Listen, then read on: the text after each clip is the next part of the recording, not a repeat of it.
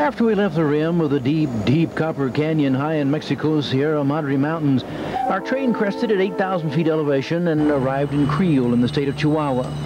From Creel, we spent the day visiting the surrounding area. Now, this is high mountain country, similar to the area around Flagstaff. There are forests and lakes and broad open valleys where the Tarahumara Indians live. The Indians are not a sociable people, and the few villages usually center around old Spanish missions, such as this one at Cusarare.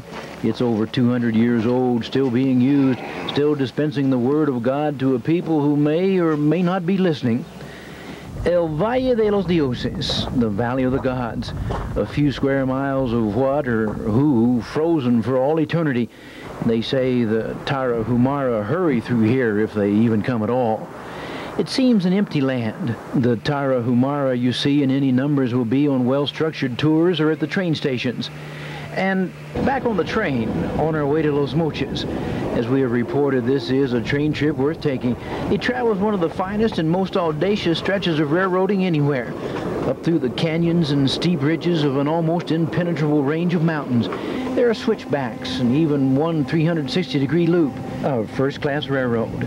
A first-class railroad where things are sometimes still done simply by hand. This deep cut used to be a tunnel until it caved in.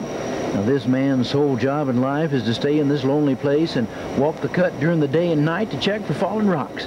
Any trouble and he simply stands in the track and waves down the train. Now, the first class train is first class. The coach cars are modern and clean, service in the dining room is tasty, and most of the train personnel speak at least some English. Uh, it is hot enough to fry eggs and humid enough to keep them from drying out down on the coast at Los Mochis right now, but it is cool in the mountains, and a stay at the Hotel Posada Barrancas, say, on the rim of the Copper Canyon, is a relaxing, pleasing affair. No crowds right now. And cocktails on the veranda and sunset in Cañon de Cobre. Well, it's a good trip. And this is Bill Leverton, U Center 10, just a little south of the Arizona Road.